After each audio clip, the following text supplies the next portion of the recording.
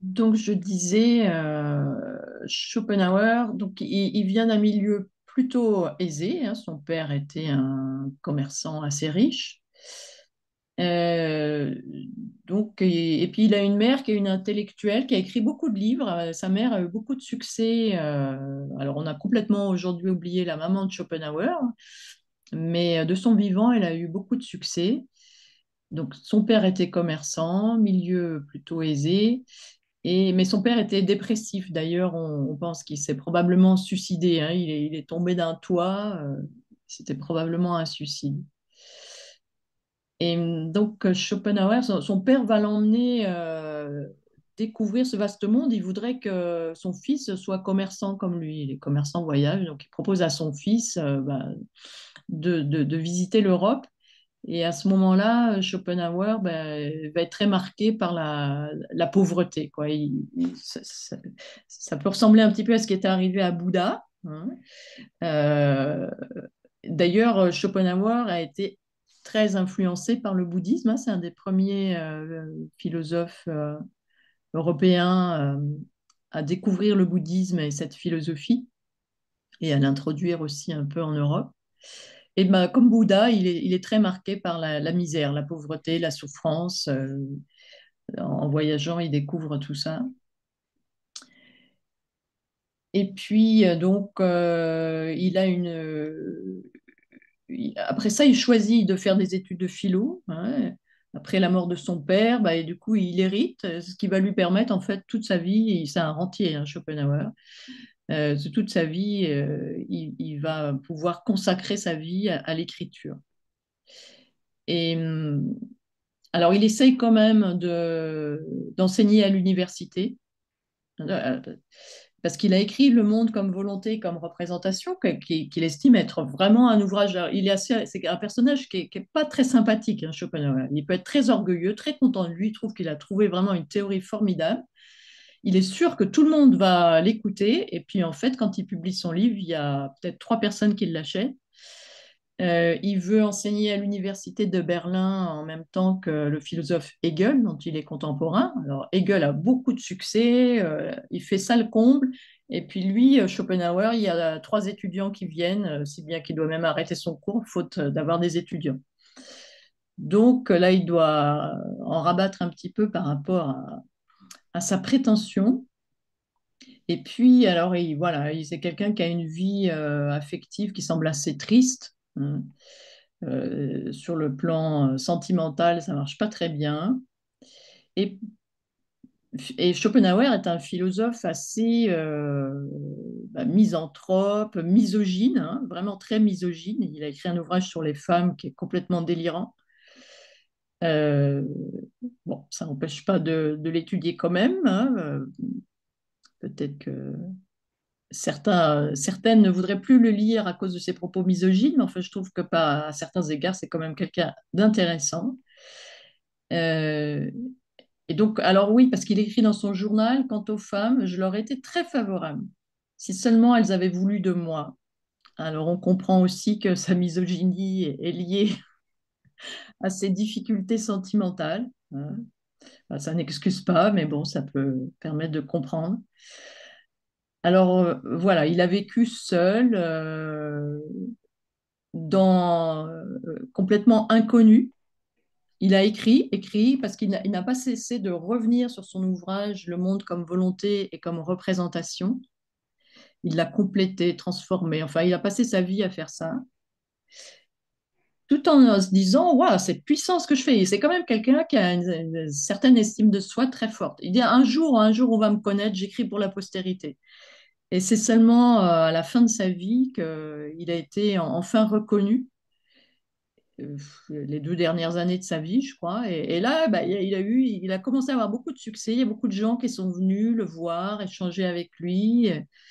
Et, en même temps, ben, en fait, il avait construit toute sa philosophie pour euh, se dire le, succès, c'est pas ça qui est important. Donc, euh, ça arrivait un peu trop tard. hein, et, et puis, euh, c'est quand même un auteur après qui a eu une très grande postérité parce qu'il a été très lu euh, dans la deuxième moitié du 19e siècle au 20e siècle. Il a inspiré des auteurs comme Maupassant, comme Baudelaire et aujourd'hui comme Houellebecq. hein. qui s'inspire beaucoup de, Schopenhauer. Alors, il a une philosophie qui est très particulière, que nous allons justement étudier, qui est pessimiste, hein, euh, qui, est, euh, qui est assez sombre.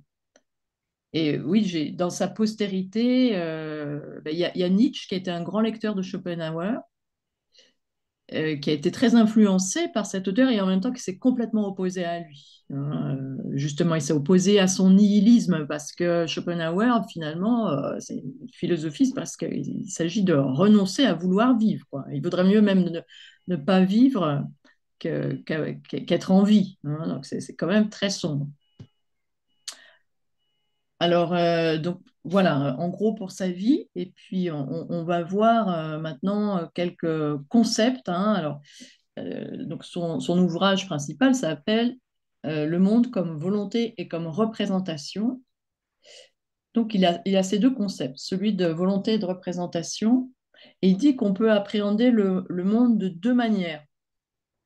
Soit, alors ça c'est tout à fait original dans sa façon de voir, hein. soit on appréhende le monde comme un sujet en tant qu'objet, euh, un sujet qui observe les objets autour de lui. Bon, ça, c'est pas très original, mais c'est-à-dire que je suis, mettons, un sujet pensant qui euh, cherche à comprendre le monde autour de lui, à comprendre des objets, à comprendre par exemple bah, la, table sur laquelle vous appuyez. On peut l'appréhender sur un plan euh, chimique, sur un plan physique. On peut la regarder, la toucher, on va, chercher à la connaître. Hein, ou l'ordinateur, encore plus complexe, mais comment il est composé, euh, on peut s'intéresser à l'informatique. En tout cas, là, on a un sujet pensant qui cherche à comprendre, on va dire, un objet connu ou à connaître qui se trouve autour de lui. Et quand on cherche à comprendre le monde de cette façon, on va mobiliser son intellect et on va établir un certain nombre de représentations. Comme je disais, ça peut être des représentations qui sont scientifiques ou qui sont poétiques aussi. La table, je peux la voir euh, sur un plan poétique. Mais on peut aussi euh, appréhender l'existence, il dit, par son corps en fait. Et qu'est-ce qu'on ressent par notre corps? On ressent une volonté. On a une volonté de vivre. Et donc ça, c'est une appréhension de l'existence très différente. Hein. chacun de nous, bah, par exemple, là, vous, avez la volonté de participer à l'atelier, euh, vous êtes animé par une volonté de vivre, voilà, qui est plus ou moins forte, mais enfin, euh, si on est en vie, c'est qu'on est animé par la volonté de vivre, et ça, on en, fait l'expérience par son corps. Donc, euh, oui, si, je reprends le, monde de la représentation, Schopenhauer dit qu'il est régi par les lois de causalité, en fait. Tout ce qui, tout ce qui m'entoure, je l'observe, c'est un effet qui a toujours une cause. Hein. La table, pour reprendre cet exemple, eh ben, elle a une cause, on va dire une cause efficiente, c'est-à-dire qu'il y a un menuisier ou un, elle a été fabriquée dans une usine hein, qui a produit la table elle a aussi une cause finale, c'est-à-dire c'est dans la tête euh, de celui qui a imaginé la table. Il, s'est dit, tiens, je veux faire une table, il, se l'est représenté dans son esprit. Et ce qu'on appelle la cause finale. Hein. La cause finale, c'est ce en vue de quoi on va agir. La cause efficiente, c'est euh, bah, le, menuisier qui, euh, par la force de ses bras, de ses outils, qui est en train de fabriquer la table. Donc tout ce qui existe dans le monde de la représentation, c'est toujours on, va le penser en termes de causalité.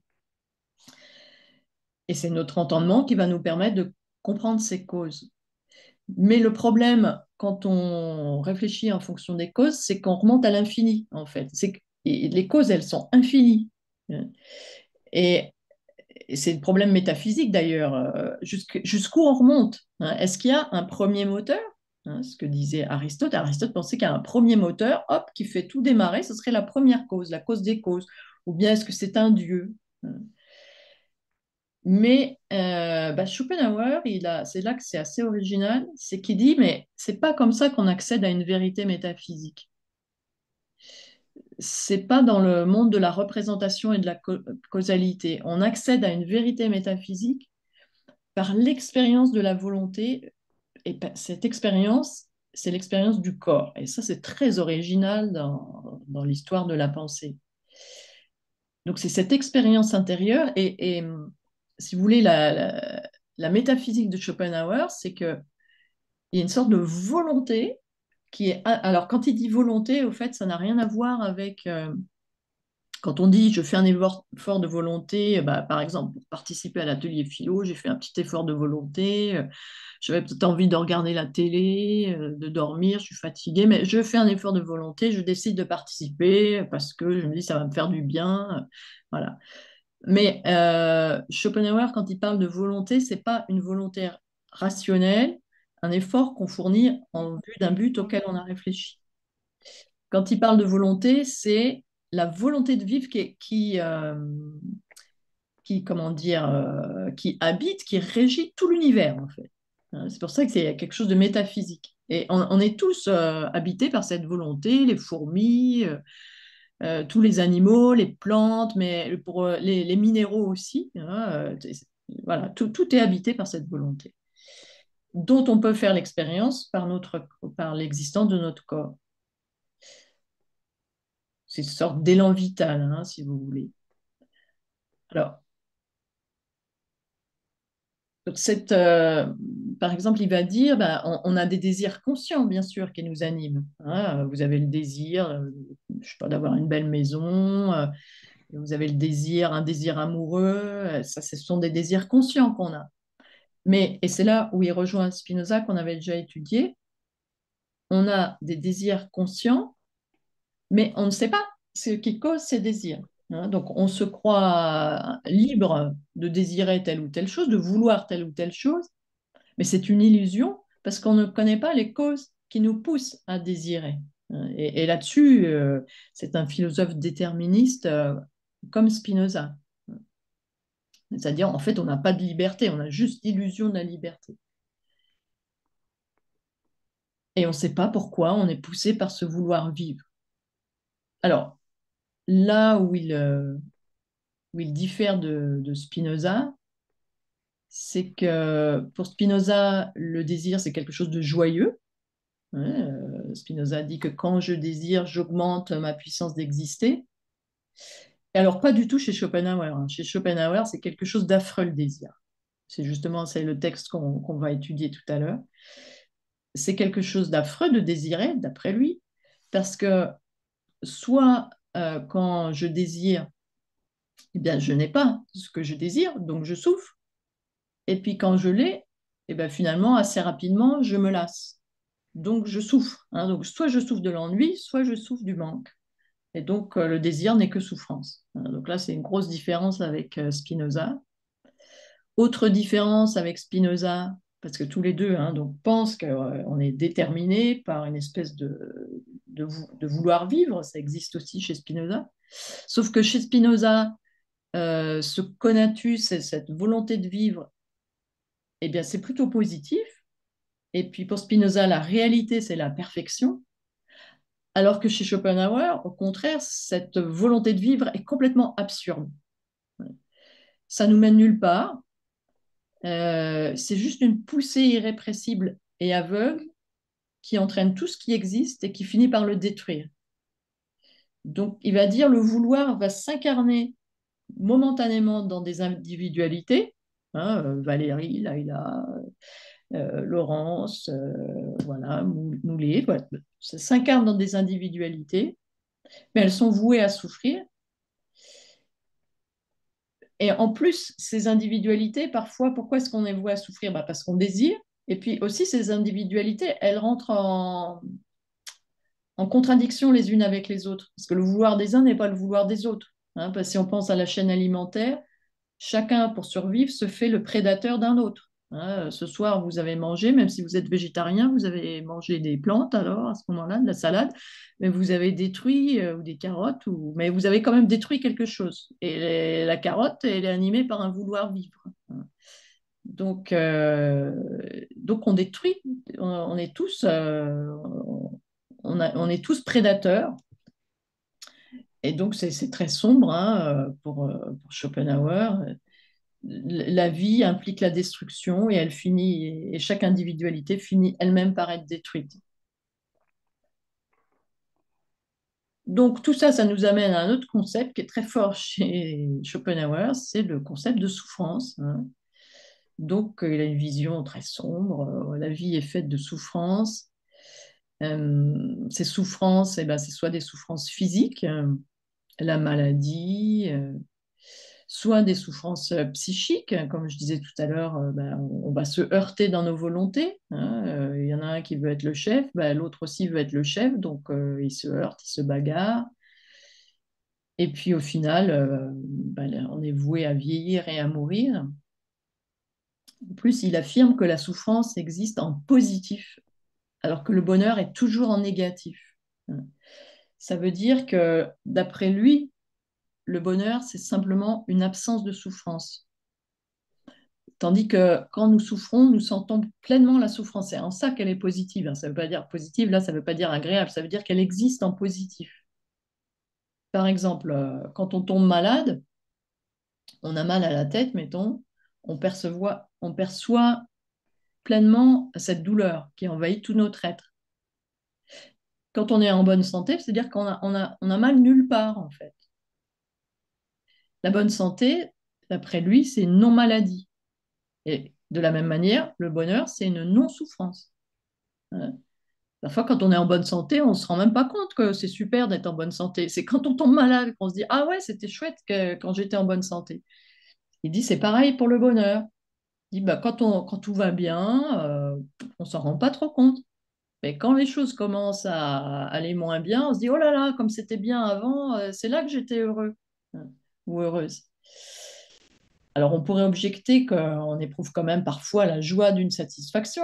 On, on rencontre la personne qu'on aime, on satisfait un besoin, on réussit un concours, euh, on obtient ce qu'on voulait. Mais pour Schopenhauer, donc, ce, ce type de joie n'a pas de valeur parce que c'est complètement éphémère. Euh, et puis aussi parce que ça nous expose au pire. hein. Euh, certes, euh, j'ai eu, euh, j'ai gagné au loto, mais ça s'est accompagné de plein de souffrances terribles parce que tous mes amis sont venus euh, pour me prendre mon argent, ou parce que j'ai eu peur qu'on me vole mon argent. Donc chaque joie que je peux avoir, en fait, ça, s'accompagne de souffrance dans sa vision des choses. hein. Bien évidemment, on n'est pas obligé d'être d'accord avec lui, mais là, je vous dresse un petit peu la façon dont il voit les choses. Hein, pareil pour l'être aimé. Alors, c'est le plus beau jour de notre vie quand on sent qu'il nous aime aussi. Mais euh, bah, du coup, on devient dépendant de cette personne. euh, elle, peut mourir, elle peut ne plus nous aimer. Bref, euh, oui, on peut avoir quelques satisfactions, mais elles sont très passagères et elles sont bien inférieures aux peines qu'elles peuvent entraîner. Donc, finalement, le vouloir nous conduit à souffrir mille maux. Et ben, qu'est-ce qu'on peut faire alors? Il n'y a pas de solution. Alors, ils, ne prennent pas le suicide. Euh, Parce qu'il dit que le suicide, ce serait encore trop vouloir, en fait. Celui qui se suicide, euh, il il se suicide parce qu'il veut, il veut que ça aille bien, il veut que, que l'être aimé l'aime encore, alors qu'il l'aime plus. C'est pour ça qu'il se suicide. Mais donc, c'est qu'il veut trop. Si, si vous voulez moins, il n'y a pas, pas besoin de se suicider, quoi. Alors, il y a quand même des solutions pour euh, Schopenhauer. Alors, il prétend pas du tout qu'on va trouver le bonheur, parce qu'il dit si vous cherchez le bonheur, c'est ça qui va vous rendre malheureux. Donc, ne cherchez pas le bonheur, mais euh, cherchons à vivre le moins de souffrance possible. Donc, euh, voilà, faut pas mettre la barre trop haut. Et comment vivre le moins de souffrance possible? Eh ben, c'est en supprimant le plus possible son vouloir. Il écrit d'ailleurs dans son journal, il se, dit lui-même euh, cette maxime, il se la donne à lui-même, vouloir le moins possible et connaître le plus possible. Pour lui, on peut s'en sortir par, par la connaissance, en mobilisant son intelligence, mais de façon désintéressée. Ce n'est pas son intelligence pour gagner des choses, hein. son intelligence pour comprendre. Euh, et oui, c'est ça. Et pour se libérer de, son ego, hein, parce que, et c'est là qu'elle est très proche de la philosophie bouddhiste, mon ego, c'est qu'une qu'une image complètement illusoire à laquelle on a tendance à s'accrocher, mais plus on s'y accroche, plus on va souffrir. Donc, il faut se, se défaire de cette, euh, cette illusion de l'ego, comprendre que mon individualité n'est qu'une illusion pour la, pour la dépasser dans quelque chose de beaucoup plus vaste. Quand je comprends que je suis attachée à quelque chose de beaucoup plus vaste, à un mouvement beaucoup plus vaste, et que je me défais de ma volonté individuelle, alors je peux atteindre, euh, je peux atteindre un certain bonheur.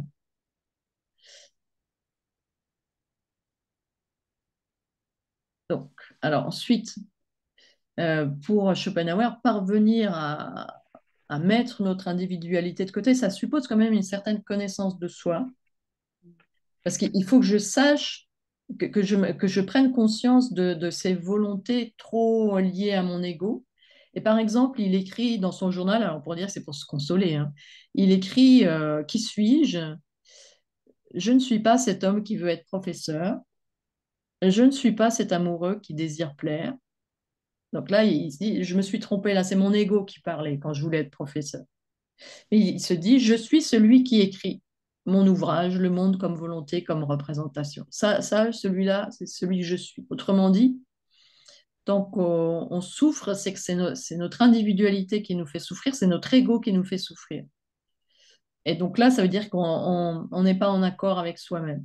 Et donc, il faut chercher autre chose qui va nous mettre davantage en lien avec quelque chose de, plus puissant que, que notre ego.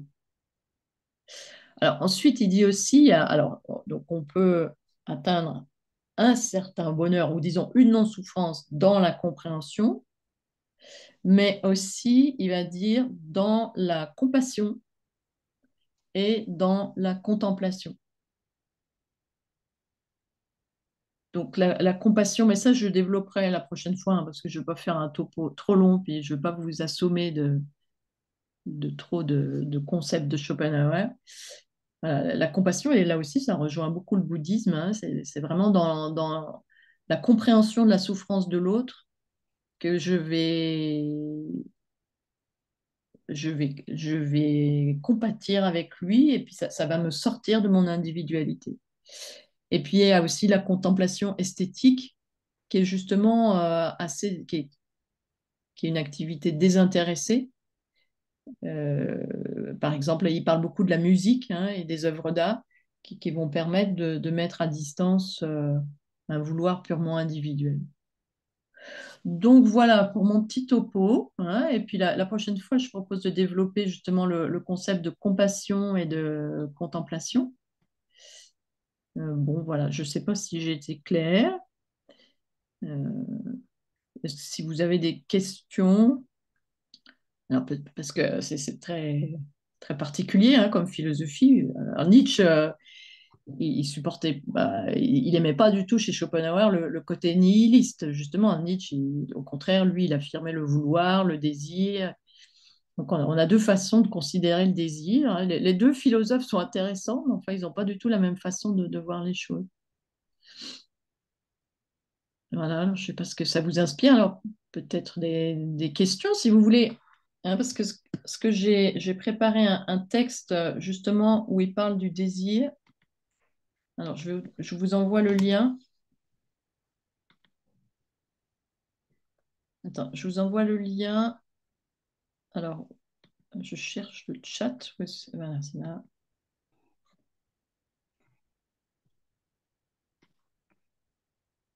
Alors, pourquoi je n'arrive pas à vous envoyer le lien? Ah oui. Je peux le mettre sur le, le chat? Voilà, voilà. Ouais, mais je ne voyais plus où était le chat. Voilà, là, vous avez le lien. Et si vous cliquez, vous arrivez. On ne pas envoyé, là. Ah non, mais je l'ai envoyé qu'à Moulet, je me suis trompée. Alors, je recommence. Tout le monde. Je l'envoie à tout le monde. Voilà. Oui. On l'a. Oui. Alors, en cliquant, normalement, vous arrivez sur le document. Oui, on est sur le texte. Là. Ok. Alors, bah, ce que vous pouvez mettre avant le texte, vous pouvez, euh, s'il y a une question que la présentation suscite chez vous, eh bien, vous pouvez noter votre question. Moi, j'aimerais faire une, une remarque. Oui, Je, je suis étonné de, de... Je découvre, hein, je ne connaissais pas Schopenhauer, mais je suis étonné de voir qu'un philosophe soit aussi affecté par sa propre expérience pour, euh, pour, pour faire des généralités, quoi. Ah, Pour créer, pour créer euh, quelque chose pour, pour, pour, pour les autres. Euh, Alors que, on- de ce que j'ai compris dans ce que tu m'as dit, euh, ce, ce qu'il a écrit, ce qu'il a sorti, c'est surtout de sa propre expérience, quoi. alors, Et comment il peut généraliser euh, aux autres, je ne sais pas. Euh, oui, bah, coup, quelle question ça pose? Est-ce qu'il s'est contenté de, de rationaliser son expérience? Ce serait ça la question. Auquel cas, est-ce que ça a du sens pour nous ou pas? Moi, dans ce que tu as raconté, il est clair que sa propre euh, expérience, par le fait de ne pas avoir de... Il n'a pas pu euh, assouvir ses désirs, euh, par exemple, euh, avec les femmes, quoi. Ce qui fait qu'il il est, il est anti-femme, parce qu'il n'a bon, pas été... Et donc, donc on peut pas, on- il peut pas généraliser et dire euh, une philosophie, euh, il faut pas, il faut pas aimer les femmes. Moi, j'adore les femmes, Dieu. d'accord, d'accord, mais ensuite, euh, c'est pas le. Il y, a il y a plein d'autres choses dans sa philosophie. Alors, c'est sûr que tout ce qu'il dit des femmes, c'est quand même très particulier. Euh, donc, la question que ça pour- qu'on pourrait poser là, à partir de ce que dit Antoine, est-ce que quelqu'un verrait une question que, que, ça peut Mais poser? comment, comment, comment ouais, l'expérience influence euh, un philosophe?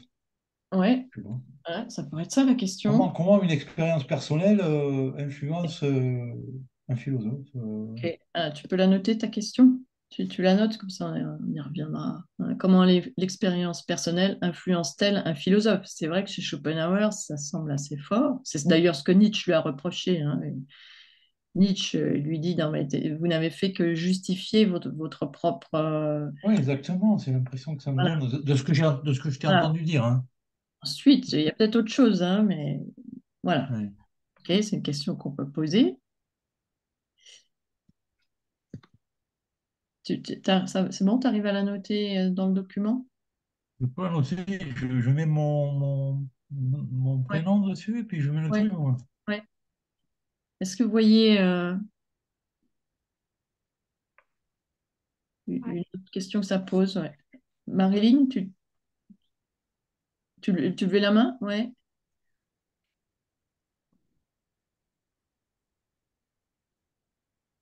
Non? Ok. Oui, Nathalie. Je me dis finalement, est-ce qu'avec toutes ces euh, idées de connaissance, de compassion, de contemplation, il finit quand même par dire euh, qu'il y a de la joie ou, ou, ou non? Oui. Euh, oui, parce qu'il fi- il finit quand même un petit peu. Il y a des textes comme ça où la, la joie, il faudrait, c'est des textes que j'ai lus il n'y a pas longtemps, elle, peut arriver quand même. Il ne faut pas la chercher, parce que si tu la cherches, t'es foutu. hein, ou le bonheur, pareil. Mais justement, elle va arriver à certains moments, alors que tu la cherches pas, mais que tu étais en contemplation, tu te laisses surprendre. Et là, oui, y a, en fait, là, oui, il y a une forme de joie qui peut, qui peut euh, arriver.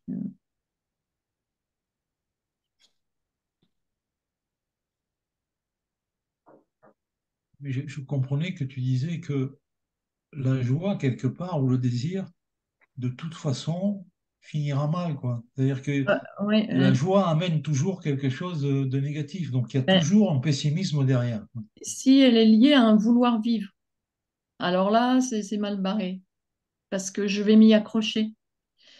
Mais euh, la Et joie, donc là, là c'est son expérience avec le, avec l'Inde, qui, qui est le bouddhisme, qui en voilà, hein, là, c'est assez proche du Ouais, bouddhisme. C'est-à-dire, je, je peux être très joyeux de voir un, un beau paysage, de voir une personne sourire, de voir, euh, de passer un moment avec quelqu'un, euh, parce qu'à la fin de sa vie, du coup, il a commencé à rencontrer beaucoup de gens et Et Oui, tu peux tirer une joie en- peut la compassion de l'autre. voilà, c'est une joie, mais qui qui est passagère. hein. Il ne s'agit pas de s'y accrocher. Si tu accroches, Mm. c'est justement ton vouloir va Ah recommencer à s'activer. Et c'est là que ça va mal se passer. Tu t'accroches au sourire de cette personne, t'es foutu. En revanche, euh, voilà, il y a une sorte de, de jouissance, mais sans, sans, sans vouloir s'y attacher. Est-ce qu'il a prôné la méditation aussi, Euh, à ma connaissance, non, je crois, je crois pas qu'il parlait de méditation. Mais euh, alors oui, c'est quelqu'un, de- c'est un personnage que je trouve sympathique, enfin d'une certaine manière parce que parce qu'il mon- il montre ses mauvais côtés, quoi. Il les cache pas. Il est pas- Spinoza, c'est il est nickel, on peut pas lui faire Mm. le- la moindre critique, il est parfait. Mhm. Mais euh, Schopenhauer, il a quelque chose d'assez humain, un peu contradictoire, que je trouve plutôt sympathique finalement. hein. Et il montre ses côtés dégoûtants, il ne les cache pas. hein. Euh, vous, lisez certains passages, je dis, mais complètement malade, quoi. Et puis d'autres passages qui sont très beaux. Enfin, euh, puis alors dans sa biographie, c'est quelqu'un qui jouait de la flûte. hein. Il, il jouait de la flûte tous les jours, il jouait un peu de flûte. On se dit que pour un pessimiste qui joue de la flûte, c'est un peu étrange, quoi, parce que la flûte, c'est même un instrument plutôt, plutôt joyeux, quoi. Donc c'est un personnage assez contradictoire, un philosophe qui peut parfois être contradictoire. Alors, donc, euh, on avait ta question, mais je ne la vois pas écrite sur le document. Il faut peut-être que je Je l'ai écrite un peu en- en- après le texte. Ah ouais, ok, d'accord. Alors, ensuite, on pourrait se demander aussi, euh, eh ben, est-ce que c'est un problème, après tout, qu'un philosophe euh, comme ça rationalise euh, ce qui lui arrive? Hmm, Peut-être, ou pas. Mais dans un sens, ils l'ont peut-être tous fait. hein, euh. Ben, oui, c'est ça. Montaigne, Montaigne, il l'a fait C'est ce que j'allais hein. dire. Oui, c'est ce que tu allais dire. Là, il a... Peut-être que tous C'est les ce que j'allais philosophes dire. font ça. Ils, Montaigne, ils sont très certainement partis tous à un moment donné de quelque chose qu'ils ont vécu ou qu'ils ont expérimenté quand même. Ben oui. Euh, donc, euh, est-ce qu'il existerait une philosophie complètement coupée de son auteur et de ses expériences? Hein, ça, Moi, ce que je voudrais dire, c'est que je suis très étonnée de, finalement, il est très à la mode par rapport à notre époque. S'il, s'il prend le lâcher-prise, la Oui, contemplation, la oui, oui. compassion, le fait de ne pas, ne pas, ne pas s'attacher aux choses, euh, de ne pas chercher euh, le bonheur, de ne pas, de ne pas être dans cette quête et que c'est justement la quête, moi, je le trouve finalement, j'ai envie de dire, il est très, Oui, et enfin, sa façon de, de- de voir les choses et, et elle est, elle est très, enfin, elle irait très bien avec notre monde là, ce temps-là, ce moment qu'on vit quand même. c'est vrai que Je puis suis un peu étonnée. oui, c'est ça qui est curieux. Mais alors, il peut pas être à la mode, c'est à cause de ses propos misogynes, je pense. Donc déjà, puis son côté misanthrope, c'est, il n'est pas bienveillant, hein, Tu, vraiment tu, pas tu, bienveillant. tu nous enverras quelque chose sur le côté misogyne parce que moi, je ne, je ne, je ne sais absolument veux, rien si sur tu, lui. si, Oui. si tu veux, Alors, si tu c'est- il y a son je- essai sur les un femmes? lien sur, un lien Ouais. sur You- YouTube, il y a une femme qui lit le fameux texte. Oui, c'est euh, ça. Et oui, tu peux le trouver en, en livre audio. Tu cherches sur YouTube. Ça s'appelle Et c'est son essai sur les femmes, tu verras. c'est ça. Et c'est une femme qui le lit en Femme plus. qui me le lit. J'ai vu ça, j'ai vu ça aujourd'hui, mais j'ai pas. Ça, ça vaut le coup de l'écouter parce que Ah ouais, ouais, ouais, ça, je, une trouve, je femme. trouve euh, ça, je trouve ça assez drôle. Je ne peux pas dire. C'est tellement délirant et excessif que c'est pas très crédible, quoi. Enfin bon. Ok, ouais. Donc, je pense qu'il y a ce, ce côté-là, misanthrope, misogyne. euh, et oui, j'ai oublié de mentionner qu'en fait, il aimait pas les. Comme il était misanthrope, il aimait les animaux, et particulièrement son chien. Et quand il voulait insulter son chien, il le traitait d'homme. Sale homme, il lui disait, t'as encore fait une bêtise. Il espérait que lui, on le traite de chien. hein. Et il a, il a légué son héritage à son chien aussi. hein. Bon, il n'avait pas de descendants, pas d'enfants. Il a légué son héritage à son caniche. Voilà, donc c'est un personnage, il est, il est assez drôle hein, aussi. Des fois, et vous, lisez des, passages, c'est- drôle, on ne sait pas trop sur quel pied danser. Il, est assez comique, oui. Oui, juste, tu disais, Leïla, que c'est très d'actualité, mais d'actualité aussi, les gens, je trouve qu'ils ont, qu'ils sont à la recherche d'émerveillement sur des choses simples. Et là, et là, là, c'est pas du tout son cas. hein. Je veux dire, le fait, le fait que tu te réveilles le matin et tu t'émerveilles, euh, ben ouais, je suis là, euh, je suis content, je, de, de, de, de- de prendre plaisir avec des petites choses simples. quoi. Et c'est Ouais, important ça- aussi dans notre euh, époque. je pense qu'il ne serait pas. Oui, qu'est-ce que vous en pensez de ce que dit Antoine? Valérie? Ben, Dans la contemplation, il, il me semble que c'est un peu ça ce qu'il dit à la fin. Oui, oui, oui, Dans l'art, dans la musique, euh, la contemplation. Est-ce que c'est pas un peu son discours, de, de- de- de- son évolution?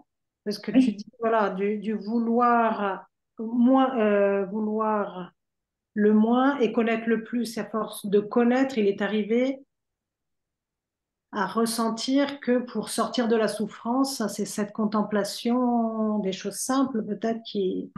oui, oui, je pense que ça peut. Oui, parce qu'il il prône une, une vie très simple, euh, presque ascétique, hein, de, de choses très simples. Donc, euh, je pense qu'il serait d'accord avec ça. hein, il- hmm. Ok, bah, ce que je vous propose, à, à moins qu'il y ait encore une question, une remarque, oui, Valérie?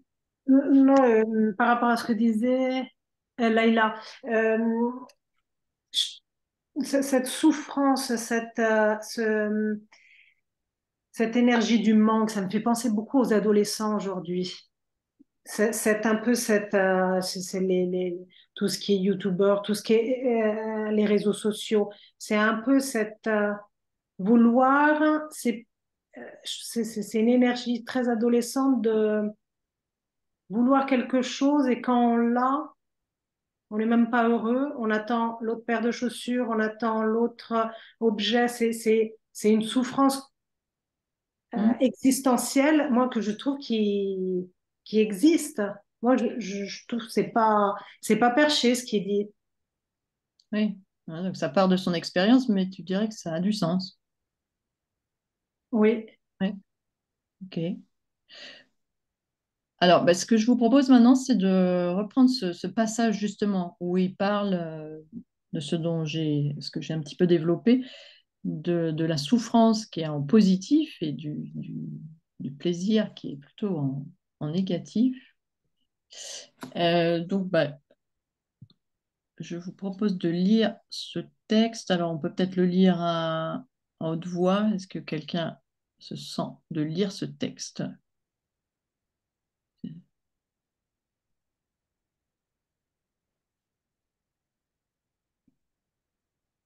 Qui peut nous lire le texte? Non, personne. Vous préférez le lire euh, silencieusement? Nat- Nathalie, tu veux le lire?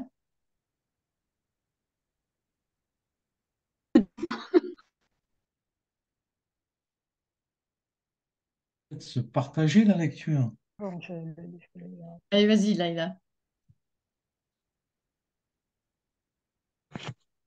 La satisfaction, le bonheur, comme l'appellent les hommes, n'est au propre et dans son sens, son essence, rien que de négatif. Rien que de négatif en elle, en elle, rien de positif. Il n'y a pas de satisfaction qui d'elle-même et comme de son propre mouvement vienne à nous. Il faut qu'elle soit la satisfaction d'un désir. Le désir, en effet, la privation sont la condition préliminaire de toute jouissance. Or, avec la satisfaction cesse le désir et par conséquent la jouissance aussi. Donc, la satisfaction, le contentement ne saurait être qu'une délivrance à l'égard d'une douleur, d'un besoin. Sous ce nom, il ne faut pas entendre en effet seulement la souffrance effective, visible, mais toute espèce de désir qui, par son importunité, trouble notre repos, et même cet ennui qui tue, qui nous fait de l'existence un fardeau. Or, c'est une entreprise difficile d'obtenir, de conquérir un bien quelconque. Pas d'objet qui ne soit séparé de nous par des difficultés, des travaux sans fin. Sur la route, à chaque pas surgissent des obstacles. Et la conquête, une fois faite, l'objet atteint, qu'a-t-on gagné? Rien, assurément que de s'être délivré de quelque souffrance, de quelque désir, d'être revenu à l'état où l'on se trouvait avant l'apparition de ce désir. Le fait immédiat pour nous, c'est le besoin tout seul, c'est-à-dire la douleur. Pour la satisfaction et la jouissance, nous ne pouvons les connaître qu'indirectement. Il nous faut faire appel au souvenir de la souffrance, de la privation passée qu'elles ont chassé tout d'abord.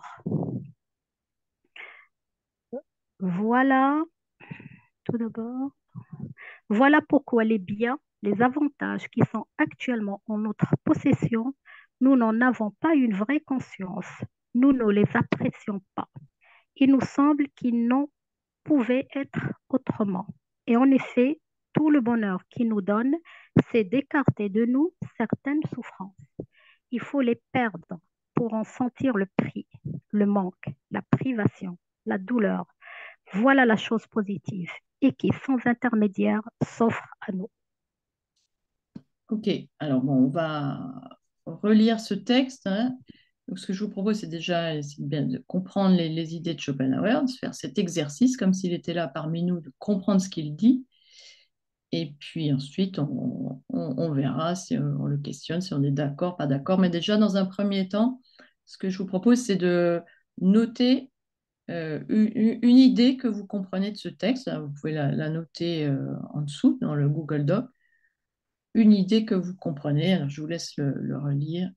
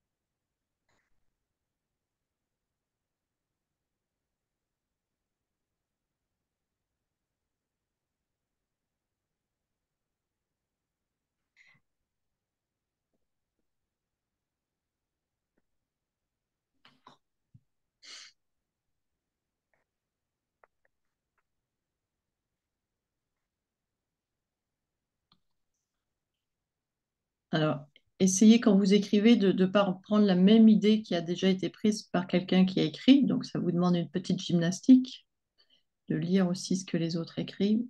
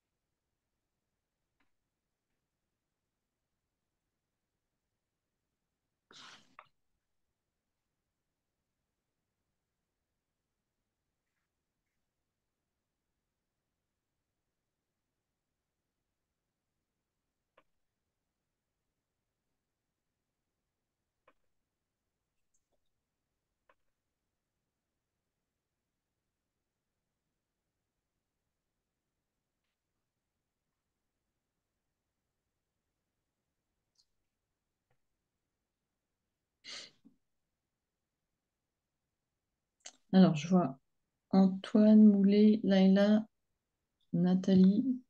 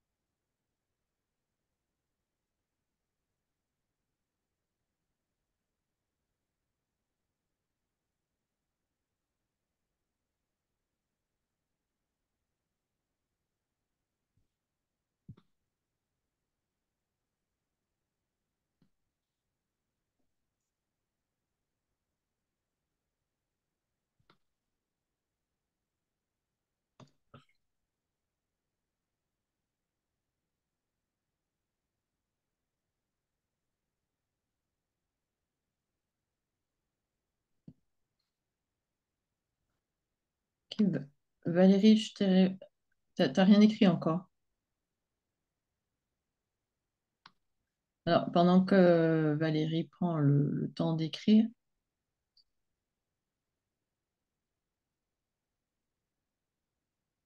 je vois qu'il y a d'autres personnes qui n'ont pas tout à fait fini, donc on va encore attendre un peu.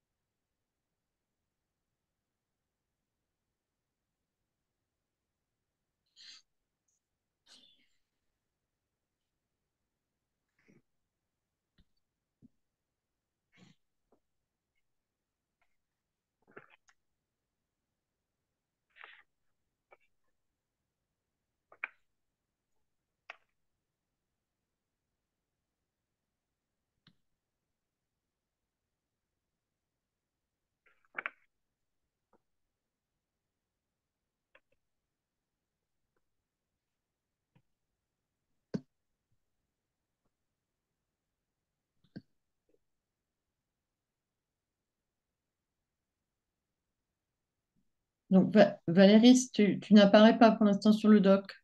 Tu es en train de chercher la phrase parfaite?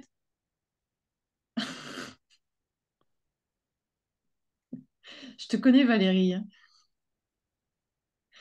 Si tu cherches le, le truc parfait, où, où tout va bien et on ne peut pas t'adresser la moindre critique, tu vois le problème. Ce ne sera pas marrant en plus.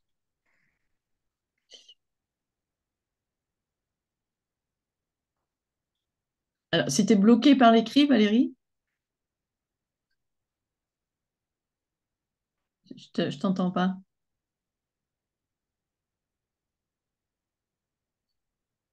Non, non, c'est que j'étais en train de chercher ma phrase et lire les autres pour ne pas Ah répéter. Et du coup, oui, c'est vrai que j'ai donné une consigne un peu compliquée là pour les, voilà. ceux qui Pour moi, c'est.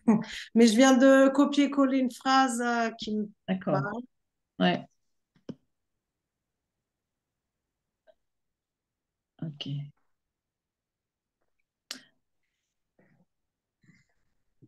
Alors, ce que je vous propose, euh, pendant que Valérie copie-colle sa phrase, hein, vous vous souvenez de la consigne, hein, la consigne, c'était une idée que vous avez comprise dans le texte.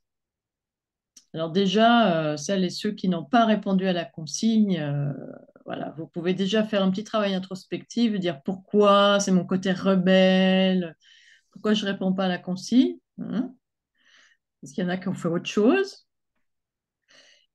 Euh, et puis donc là, alors voilà, donc je, je dis à- à- pour mouler, hein, il y a quelque chose de très rigoureux comme ça, dans- avec cette méthode de, de réflexion. On- la, la personne qui anime, elle, elle donne une consigne, voilà, et puis elle, elle va observer après si les autres répondent à la consigne ou pas. Alors, elle ne va pas les punir hein, s'ils ne répondent pas à la consigne, mais s'ils ne le font pas, ils, peuvent toujours se demander pourquoi. Pourquoi ils ne le font pas? Qu'est-ce que ça dit d'eux aussi hein? Voilà. Alors, ben, je, vous laisse euh, reprendre, euh, relire. Et si vous pensez qu'il y a des personnes qui n'ont pas tout à fait répondu à la consigne, ben, n'hésitez pas à leur dire, parce qu'ici, on se parle cash aussi, on se dit les choses. On va dire, tu réponds pas à la consigne, mais bien évidemment, on ne punit personne, il n'y a pas de mauvaise note. Mais c'est juste, c'est- à chaque fois des occasions de mieux se connaître. Alors, est-ce que vous pensez qu'il y a des personnes qui n'ont pas répondu à la consigne, qui consistait juste à reprendre une idée que vous comprenez dans le texte?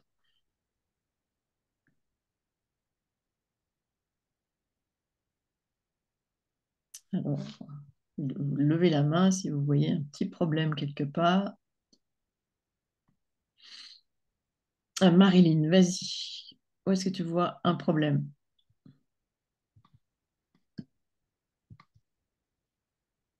Ah bah moi je réponds pas à la consigne. hein. Voilà. Parce que moi j'ai mis une phrase que je n'ai pas comprise. Ok, eh ben Voilà. oui, voilà, tu as fait l'inverse. Voilà. Donc euh, Et Qu'est-ce que tu comprends? Et toi tu mets ce que tu comprends pas. voilà. Et donc là, c'est toujours l'occasion de s'observer un petit peu soi-même. Tu te, Voilà. tu te reconnais bien là? On est bien chez toi, Marilyn? Ouais, c'est pas mal. Ouais. Ouais, ouais. Oui, Et oui. tu, sais pourquoi tu, tu peux faire ça? Euh, ouais, peut-être euh, ouais, une tendance à, à essayer de, à voir ce que j'arrive pas à percer à jour plutôt que ce que j'arrive à comprendre. Eh Peut-être. ouais. Hein, donc tu vas chercher vers ce que tu comprends pas, mais ce que tu comprends. hein, donc ça, Voilà. Ouais, ok, c'est un fonctionnement intéressant. Il y a des gens, ah ouais, je suis content, j'ai compris ça, mais toi, je comprends pas ça. Hein, Voilà. Et tu aurais un qualificatif pour ce type de d'attitude? Euh,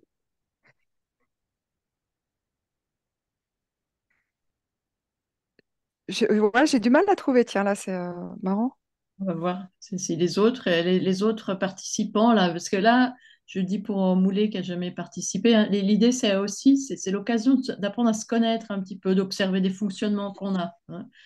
Et donc on peut les qualifier, euh, même si euh, ce qualificatif ne fait pas le tour de notre personne, hein, mais ça met un petit éclairage. Quelqu'un aurait un petit éclairage pour Marilyn, au lieu de dire voilà, mais je comprends ça, elle euh, voilà, ça je comprends pas. Est-ce qu'il y aura un nom pour ça? Oui, Nathalie? Moi, je trouve que c'est plutôt positif parce que ça montre qu'elle a du recul sur elle. Parce que des fois, en fait, on croit comprendre alors que Marilyn, elle prend déjà du recul et elle, elle sait ce qu'elle comprend pas. Ça peut être positif aussi. D'accord. Voilà, donc c'est, euh, elle est, elle est lucide sur ce qu'elle comprend pas. Elle se raconte pas d'histoire sur ce qu'elle comprend. D'accord? Ok. Autre chose pour Marilyn? Non?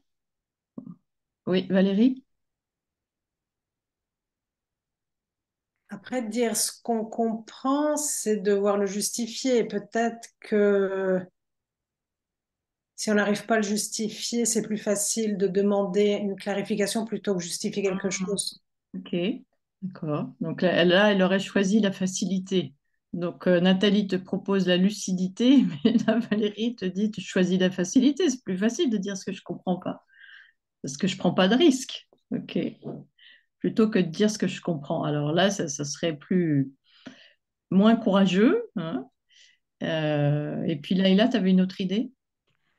Ben oui, parce que les gens, ils, n'osent pas dire ne- ce qu'ils n'ont pas compris en général. Ils ont plutôt tendance à essayer de le cacher, j'ai l'impression. Donc, moi, je dirais plutôt y aller franco et dire voilà ce que je n'ai pas compris. Moi, je dirais que ça relève plutôt d'un certain courage, Ah, on a, on a deux visions opposées, là, deux interprétations opposées. Soit tu es courageux, si ça, je ne comprends pas, soit c'est pas très courageux, parce que quand tu dis ça, ben, on peut plus te critiquer, quoi. Hein, Voilà. Alors, ça sera à, à toi de voir avec toi-même, hein, on te laisse finir le travail, dans, quoi tu te reconnais. hein. Ensuite, euh, voilà. On pourrait dire la rebelle aussi, je vais quand même pas répondre à une consigne comme ça. Moi, je veux faire ce que je veux, quoi. Je veux pas faire ce que me dit Laurence. Il a peut-être ça aussi, une rebelle. Antoine? Euh, moi, j'aimerais poser la question, est-ce qu'elle avait compris la consigne? Ah ouais, oui, j'avais compris la consigne. hein. Oui. Tu l'avais compris. Mais non, non, mais ouais, oui, j'avais compris la consigne. Mais je, je trouve que les, les deux interprétations sont, euh, pour- pour- peuvent, peuvent être valables. Alors, c'est euh, peut-être une contradiction interne, je sais pas. Ah oui.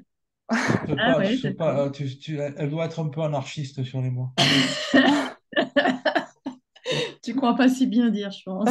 Ouais, je crois qu'elle est, elle est anarchiste, euh, elle est phi- elle a une philosophie anarchiste. Euh, T'as un côté rebelle, Marilyn. Ouais, Ouais, je, je sais pas si je suis complètement anarchiste, mais il y a, il y a, il y a des éléments. ouais. Bah, tu, as- tu veux ta liberté, tu veux pas dépendre euh, ni maître ni loi, hein, c'est ça? Voilà, la, la consigne euh, révèle alors les, les- les bons élèves et puis les, les rebelles. euh. Ok. Alors, Oui, est-ce mais qu'ils c'est c'est- c'est attends, une qualité, c'est une qualité ouais. d'être anarchiste. Hein. Moi, je je pas de... On va pas, on ouais. va pas, pas le descendre. hein. Attends, Antoine, attends, attends. Et donc, euh, il y avait les deux visions. hein. Alors, est-ce que tu prends la vision la plus flatteuse et c'est courageux ou bien c'est pas très courageux? Parce que finalement, euh, dire j'ai Eh, compris ça, on donne prise à la critique. C'est intéressant parce que, effectivement, si je réponds pas à la consigne, je je me soumets pas à la critique. Ouais. Et oui, il y a Et, ça. euh, et du coup, euh, on s'expose moins, c'est vrai. Hmm, peut-être. Ok, allez, on va aller voir. Est-ce qu'il y a, y d'autres. euh, Est-ce que vous voyez un problème ailleurs que chez Marilyn? Nathalie? En fait, c'est juste Antoine qui a répondu à la consigne, Oui, mais à, à la fin, il a dit, je ne pense pas que ce soit le cas. Eh Donc, oui. il a rajouté son avis. voilà. Ouais.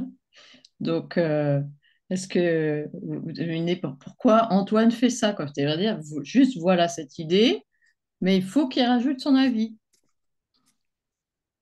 Alors, ça, ça t'étonne, Antoine, de faire ça? Non, non, je veux toujours donner mon avis. Oui, d'accord. C'est un principe euh, anarchiste aussi. Ah oui, d'accord. Oui. Ok, Un anarchiste euh, est libre de- d'exprimer son avis. d'accord. Est-ce que tu vois le, le problème? Parce qu'on s'intéresse toujours au, problème aussi. On a vu avec Marilyn le, le Ben, problème que ça pouvait poser, puis toi, ça se pose non, non, non, moi je vois pas le pas? problème. Les autres, Bah, euh, les autres, les autres voient un problème. Moi, moi pour pas un problème. alors, ça t'intéresse de voir le problème que les autres voient? Si tu Mais bien sûr, je suis là pour ça. Ok, mais tu vas le prendre en compte après ce qu'ils vont dire. Tout à fait, tout à fait. Alors, qui, Je qui, veux, je veux l'entendre. qui peut le dire Antoine? Le problème de donner son avis alors qu'on lui a pas demandé.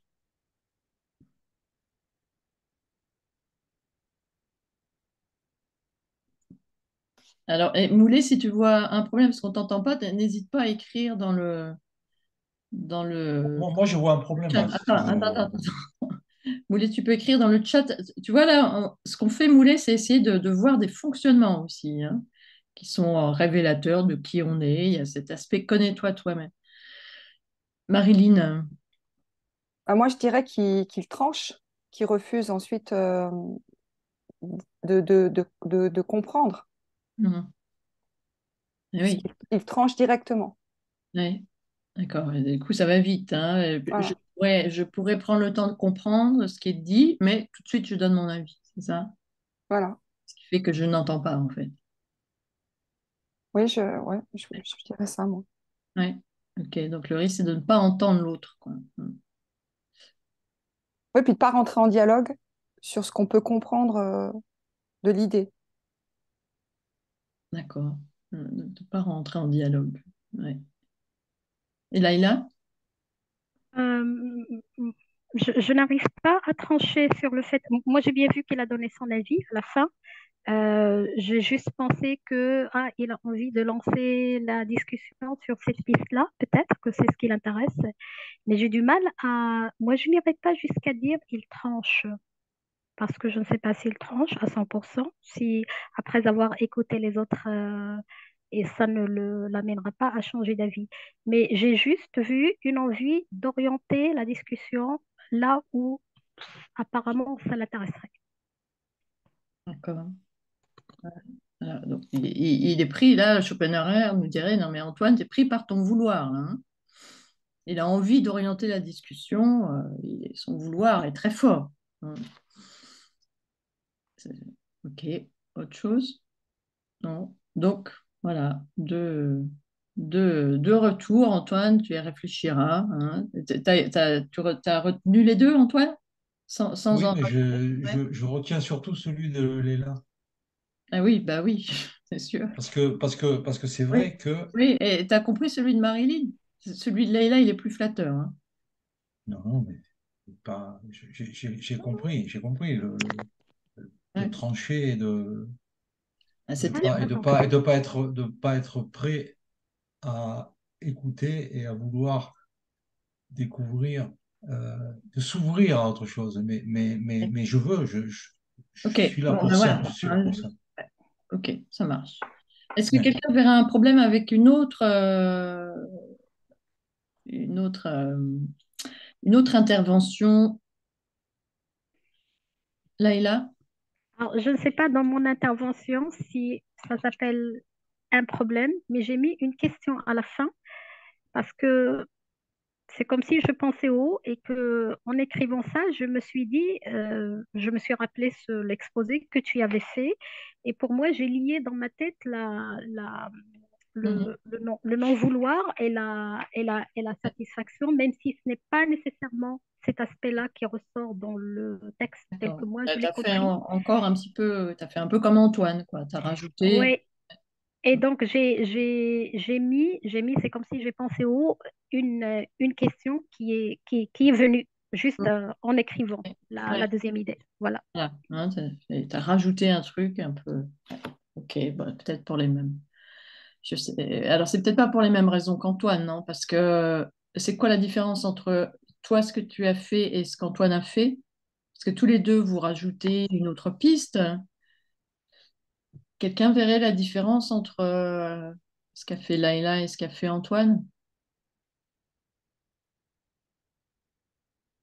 On va demander à quelqu'un qui a un peu moins parlé.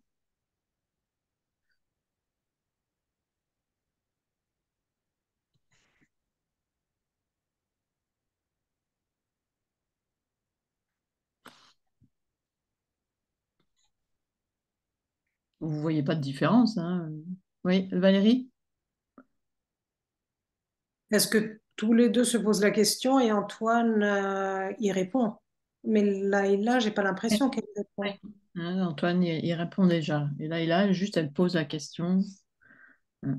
Ok, peut-être pour mieux comprendre la pensée de Schopenhauer. Mais euh, Antoine, déjà, il répond. Ok. Est-ce que quelqu'un verrait un problème avec une autre intervention ou... Alors, oui, je vois, Moulet, tu écris. Alors, bah, vas-y, et si, si tu peux l'écrire dans le chat.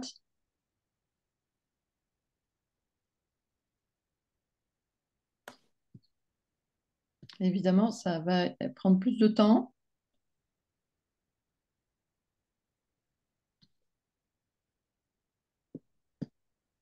Si tu peux nous dire juste, Moulet, déjà avec l'intervention de qui? Comme ça, les autres pourront regarder aussi s'ils voient un problème.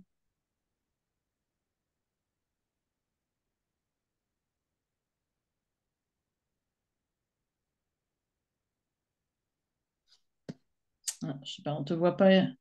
Ah si, oui. Pour ton cas, j'ai plus parlé de l'idée générale. Ok, alors toi, tu... Ouais, on va voir si on est d'accord avec toi. Donc, tu fais ta propre critique. Hein. C'est c'est pas une idée que tu as comprise du texte, mais c'est plutôt l'idée générale que tu cherches à capter. hein. Alors, on, va retourner dans ce qu'a écrit Moulet et vous regardez si c'est bien l'idée générale du texte qu'il a proposé ou si vous pensez que c'est pas ça, c'est encore autre chose. Donc, on retourne chez Moulet. Je pense que l'auteur insiste sur la nature précaire de notre existence afin que nous soyons assez lucides sur le sens que nous donnons à nos désirs. Donc, nous devons viser l'humilité plutôt que le bonheur. Alors, qu'est-ce que vous en pensez de, de ce que dit, de ce qu'écrit ici Moulet?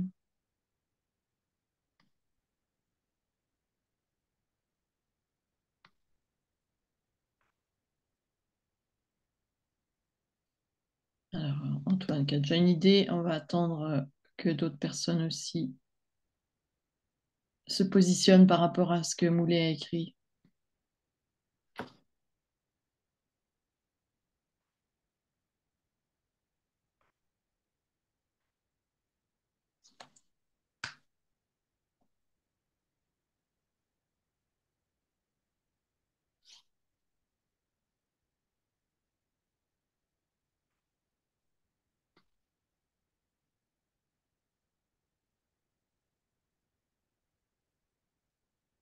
Oui, je vois qu'il Nathalie aussi.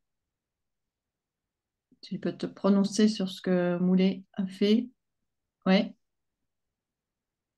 Ok, bah vas-y Nathalie, hein, on t'écoute. Alors, je ne sais pas parce qu'en fait, euh, moi, j'ai pas du tout vu, euh, perçu euh, le côté précarité de l'existence dans ce texte, mais Oui. c'est peut-être dû que j'ai j'ai pas bien compris le texte, hein, mais je l'ai pas vu ça, j'ai pas vu cet aspect. Tu vois pas que dans ce texte, Schopenhauer nous parle de précarité. hein? Est-ce que vous êtes d'accord les autres ou pas avec le problème qu'ici voit Nathalie, et qui, qui n'est pas d'accord avec Nathalie? Donc, Comme personne ne se manifeste, j'en déduis que tout le monde est d'accord avec Nathalie. Ce- dans ce texte, euh, Schopenhauer ne parle pas de précarité de l'existence.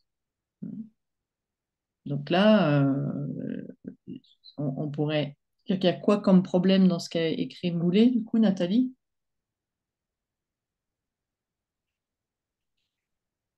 En fait, peut-être euh, il a fait une association avec ce que tu as dit toi avant, Oui, ou alors euh, peut-être des choses qu'il a lues et euh, il, il a peut-être euh, voilà euh, projeté euh, dans peut-être. ce texte Ouais. des choses qu'il connaissait déjà d'avant. ou- D'accord, donc mais il serait, du coup, il n'a pas non plus vraiment répondu à la consigne. Alors, c'est pas la même chose que Marilyn et Antoine, mais et- Mais peut-être qu'il a raison et que c'est vrai ce qu'il dit en plus, hein, mais voilà. Est-ce que voilà, est-ce que c'est générale du texte ou pas? Euh, toi, tu, tu vois pas l'idée, le concept de précarité n'apparaît pas dans le texte, à moins que quelqu'un le voit, mais apparemment personne ne le voit. Alors, qui veut se prononcer? Marilyn. Il y a quand même l'idée d'une restriction, puisque euh, il dit euh, euh, que la satisfaction, le contentement ne saurait être qu'une délivrance. Alors, est-ce que cette restriction indique une précarité? on, on- c'est pas une, une, une- une extrapolation que de, que de, que de créer une identité entre une, forme restrictive de, de la satisfaction et la précarité d'existence. Je sais pas. Ça pourrait. euh, Ok, alors on va voir déjà si on comprend ce que tu dis. hein. Euh, Qui qui pourrait juste reformuler ce que dit Marilyn? Où est-ce qu'elle voit un lien euh, avec la précarité?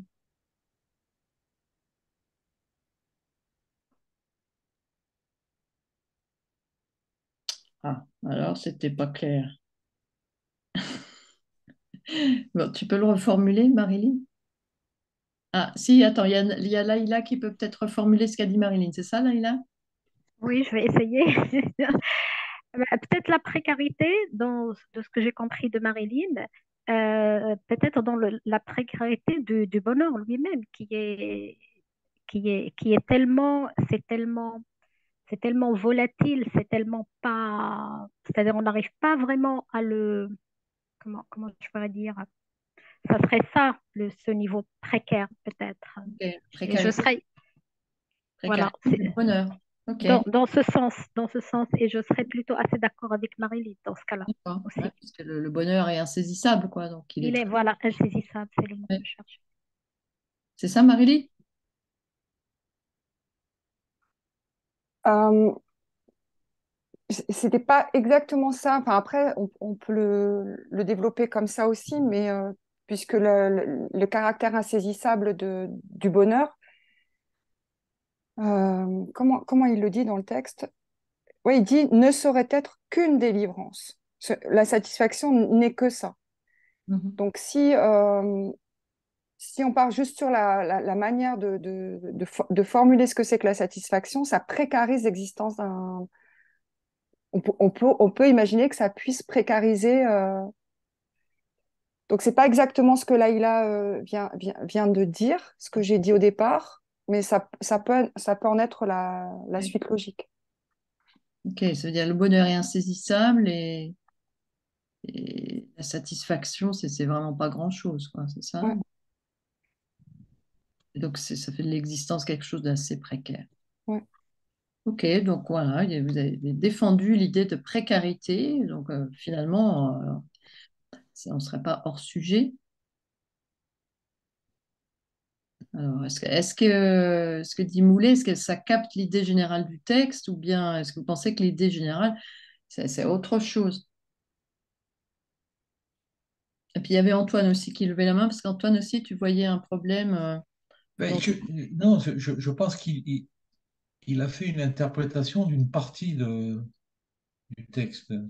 C'est-à-dire, c'est pas, c'est pas, je pense pas que ce- je le sens pas comme une idée générale, mais c'est quand même une idée qui regroupe cer- certains aspects du texte. D'accord. Et pour revenir sur le côté précarité, moi je viens de surligner en jaune une partie qui, à mon avis, peut donner un peu le, une idée de précarité, quoi. Si vous regardez dans- quand il dit Or, c'est une entreprise difficile d'obtenir, de conquérir un bien quelconque. Pas Mhm. d'objet qui ne soit séparé de nous par des difficultés, des travaux sans, vain- sans fin sur la route, à chaque pas surgissent des obstacles. Donc, ça, ça peut donner une interprétation à la précarité. Ok. Hein, donc, euh, Donc, il l'a il capté, même s'il n'y a pas de mot précarité dans le texte. c'est ce, ce qu'a écrit euh, Moulet dans, dans, dans le chat, il dit le bonheur, le désir, comme la satisfaction sont fugaces. Donc, ce serait ça l'i- l'idée de, de précarité, quoi. Alors, peut- peut-être que, hein, parce que là, quand tu écris euh, l'existence est précaire, on a l'impression qu'il est en train de nous. Quand on parle d'une existence précaire, ça veut dire qu'on on peut mourir à tout instant. Peut-être c'est mieux formulé comme tu l'écris dans le chat. hein, le bonheur, le désir, comme la satisfaction sont fugaces. Mhm. Ok. Ça, ça serait peut-être plus rigoureux si tu l'écris comme ça, si, tu es d'accord, Moulet.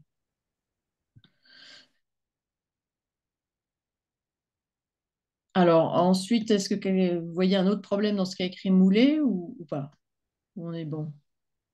Oui, donc tu es d'accord, Moulet. Euh, finalement, on pourrait, comme idée générale, on pourrait dire le bonheur, le désir, comme la satisfaction sont fugaces. Ça, ça suffit peut-être pas pour donner l'idée générale, mais on verra après si on le complète. Est-ce que quelqu'un voit un autre problème dans ce qu'il a écrit ou pas? Laïla? Euh, Moulet parle aussi de l'humilité et je ne suis pas sûre que... Enfin, moi, je n'ai pas vraiment vu ça dans le pas texte. apparaître ce concept dans le texte. hein. Donc là, Oui, est-ce que ce concept, je ne sais pas s'il existe. peut-être un peu loin du texte. Tu vois, donc là, Moulet, que de même que Marilyn et Antoine tout à l'heure ont pu travailler sur leur fonctionnement, observer ce qu'ils faisaient, tu, tu peux te demander, peut-être un peu loin du texte. Hein. Euh, t'as pas tout à fait répondu à la consigne, toi non plus. hein. Est-ce que c'est parce que... Est-ce que tu es d'accord, Moulet, déjà, si tu peux écrire juste oui ou non, est-ce que tu es d'accord que tu n'as pas tout à fait répondu à la consigne? Ensuite, tu peux, peux dire que je, je dis n'importe quoi, hein, tu étais pas, tu peux ne pas être d'accord avec moi.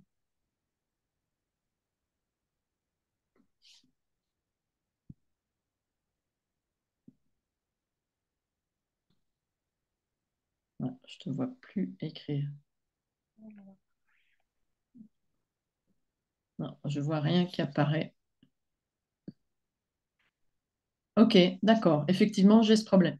Hein, donc là, euh, euh, on pourrait se demander d'ailleurs euh, pourquoi, hein, parce qu'à chaque fois qu'on observe quelque chose qui qui correspond pas tout à fait à ce qui est attendu, c'est toujours intéressant parce qu'on peut se demander pourquoi. hein. Est-ce que vous savez pourquoi les autres Moulet n'a pas tout à fait répondu à la consigne?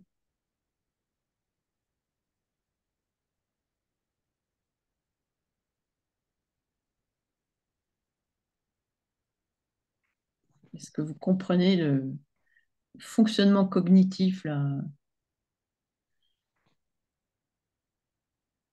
Nathalie? Peut-être il veut, mal, sans le savoir, passer un message qui lui paraît important.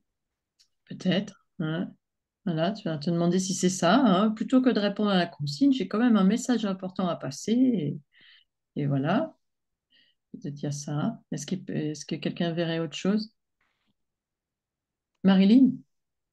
Euh, peut-être que qu'il a besoin qu'un texte soit efficace dans, dans l'idée qu'on on en tire une leçon. Eh oui, intéressant. Ouais. Quand même qu'on tire une leçon de ce que nous raconte là Schopenhauer. hein. Pas perdre du temps à comprendre ce qu'il nous raconte sur le désir euh, négatif et la souffrance positive.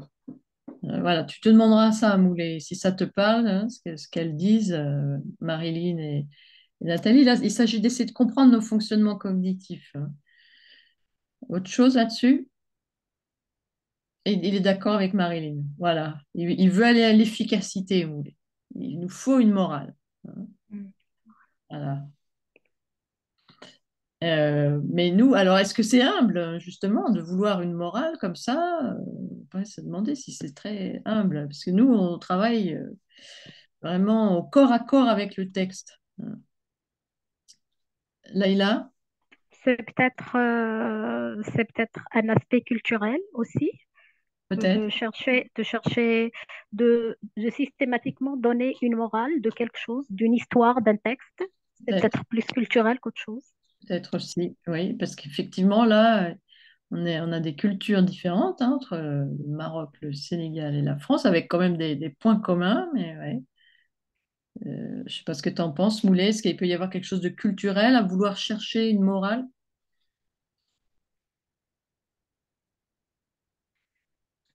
Toi, tu dirais que ça, au Maroc, c'est quelque chose qui peut. On cherche une morale dans... Oui, Ouais, ouais, oui, facilement. Oui. ouais, ouais. Ok, ouais. Alors, je pense que ça existe aussi en France, mais c'est peut-être moins prononcé. ouais. Ça, je, je sais pas, pas capable de me prononcer là-dessus, mais oui, ça peut être aussi une explication.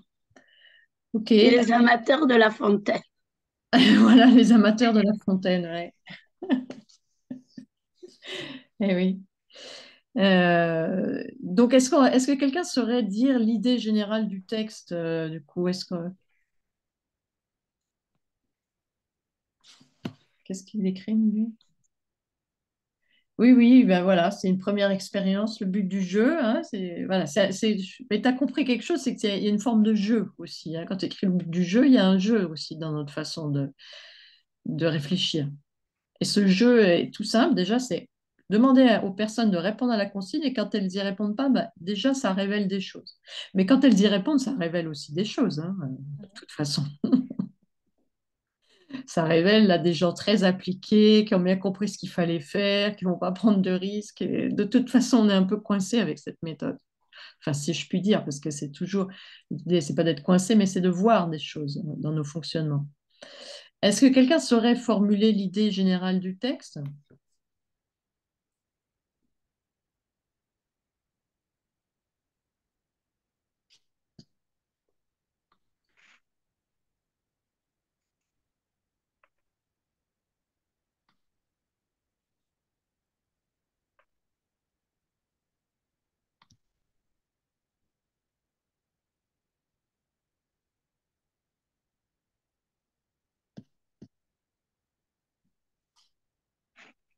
Alors, Antoine.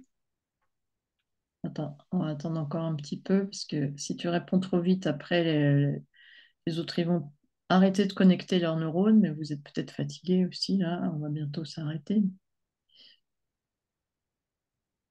Bon, allez, vas-y, Antoine, tu peux nous faire ça court, l'idée générale, ça serait quoi? La recherche du bonheur à travers nos plaisirs ne peut être que douloureux. Alors, est-ce que ça va? La recherche du bonheur à travers le plaisir ne peut être que douloureux? À travers nos désirs, nos désirs. À travers le plaisir, la recherche du bonheur à travers nos désirs ne peut être que douloureux. Alors, l'idée générale, il faut qu'elle capte l'ensemble du texte. Euh, Oui. Je pense qu'au début, il part de ça et à la fin, il termine aussi sur le bonheur et le... tu, tu peux, tu peux la noter? Quoi? Ton, ton idée générale, là, c'est ce que tu viens de nous dire? Oui. Tu veux que je le note sur le texte, c'est ça? Mais tu le notes euh, en dessous, là, quoi, pour, pour qu'on le... Parce que, éventuellement, on le reprendra la semaine prochaine.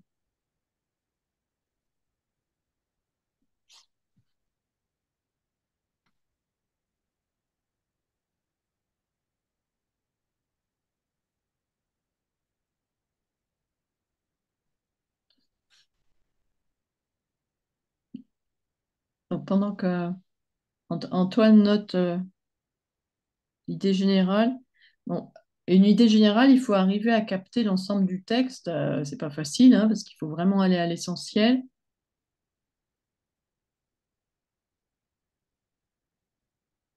Donc, ce que je vous propose, petit exercice pour la prochaine fois, ça serait de formuler justement cette idée générale en essayant de capter l'essentiel sans l'oublier, sans en dire trop non plus. Donc, c'est c'est pas évident.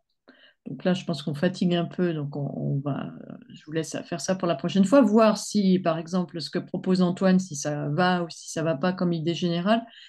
Mais avant de se séparer, ben, je, vous propose quand même de, de, de- de vous prononcer, parce que l'idée aussi en pratique philo, c'est toujours d'essayer de voir par rapport à, à notre existence, est-ce que ça nous parle ou pas, un auteur, hein, comme on avait fait pour Spinoza. euh, dans quelle mesure euh, ma lecture d'un auteur nou- nourrit mon existence ou, pas euh, Est-ce que je suis en total désaccord ou est-ce qu'il y a des choses, ça me parle?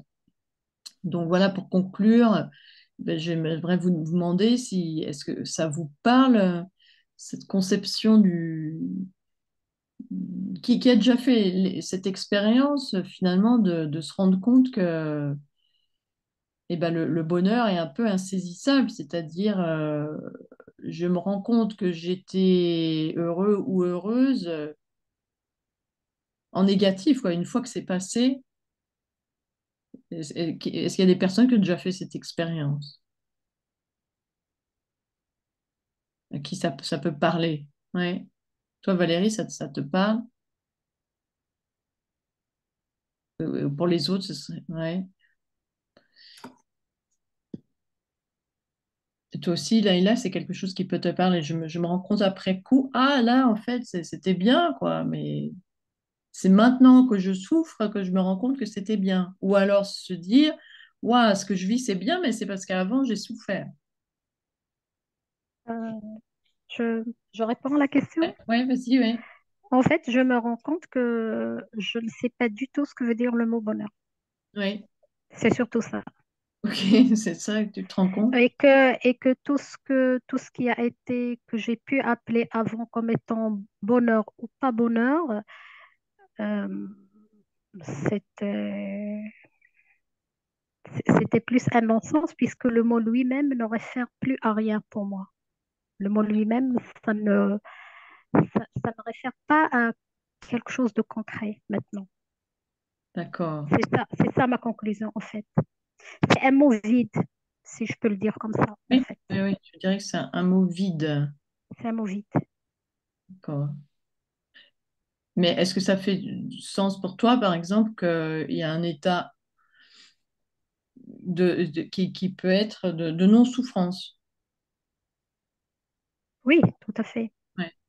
Oui, tout à fait. Il peut y avoir un état, mais peut-être que tu le vis maintenant, là, tout de suite, au point où on en est, tout de suite ce soir, là, à 10h moins le quart, un état de non-souffrance. Après, tu vas peut-être la retrouver, euh, mais ça, ça peut, ça peut euh, se produire, un état de non-souffrance. Oui, mais la souffrance elle-même, c'est un mot vide. La souffrance elle-même, j'ai pas entendu la fin. La, la souffrance elle-même, pour moi, c'est un mot vide aussi. Ah oui, c'est un mot vide au- aussi. Ah, La souffrance aussi, c'est un mot vide. d'accord. donc là, tu n'étais pas Schopenhauerienne alors. Parce que lui, c'est un, c'est un mot qui a, qui a du sens, la souffrance. Mais par contre, le bonheur, c'est plus une non-souffrance. Ok. Les autres personnes, est-ce que vous voulez vous prononcer là-dessus? Oui, Antoine? Ben, moi, je, je sais ou j'ai appris à apprécier le bonheur quand il est là, le moment, et euh, j'attends pas de l'avoir perdu pour me dire, oh, putain, que j'étais bien. Quand je suis bien, je me le dis, je le sens, et je, je l'exprime si je suis bien avec une personne. Euh, maintenant, hein, Hmm. ça n'a pas toujours été comme ça. D'accord, ok. J'ai eu, eu, eu, eu des périodes euh, par le passé où j'avais extrêmement de mal à exprimer mon ressenti, mes émotions. Mais ça, c'est, hmm. typique, hein, c'est, les mâles, euh, l'ego des mâles éduqués comme des, comme des, comme des bêtes qui, qui sont incapables de, de ressentir. Mais maintenant, c'est fini. Ensuite, euh, Maintenant, Schopenhauer, il me semble qu'il il dit aussi que on, on apprécie le bonheur parce qu'on on a souffert avant, quoi. On, comprend qu'on s'est planté avant, puis alors maintenant, du coup, on apprécie, quoi. bon, je pense que c'est particulier aux hommes. euh, les hommes, Ouais, euh, bah, attends, on va demander, est-ce qu'il y a des, des femmes là qui s'est arrivé de, de vous dire, waouh, en fait, là, c'est super, parce que vous vous souvenez qu'avant, euh, vous avez vécu un truc euh, pas chouette, et là, waouh, j'apprécie maintenant. Est-ce qu'il y a des femmes à qui c'est arrivé? Oui. Est- Est-ce qu'il y a une, l'une de vous qui pourrait donner un exemple? Alors, si c'est trop personnel, euh, vous ne dites pas, mais est-ce que c'est des exemples dont on peut parler? Ou pas? C'est comme vous voulez. hein. Non. Oui, oui, bah vas-y, Marilyn. Bah, sim- simplement, euh, après un, après une bonne grippe qui nous a cloués euh, Eh oui. au lit, euh, qu'on, on a été privé et de notre, notre capacité euh, de réflexion, de, de- de plonger dans un bon bouquin ou de simplement aller euh, se balader, Eh oui. des choses simples. Voilà, des choses toutes simples. hein. On a été malade comme un chien. Waouh, qu'est-ce que c'est agréable d'être en santé. Retrouver l'odorat, par exemple. Voilà, on a ah, perdu l'odorat, on le retrouve. Donc ouais. finalement, euh, on, on apprécie par rapport à un négatif qu'il y a eu avant, quoi. Ouais. Mm. Ok. Voilà. Bon, bah alors, je, vous laisse euh, vous interroger sur ce que dit Schopenhauer, dans quelle mesure ça vous parle ou pas dans, votre existence? Est-ce que ça vous rend... Parce que c'est vrai que c'est pas une philosophie euh, réputée pour être très joyeuse, mais vous me direz après si ça fait sens ou pas pour vous, ou si vous vraiment...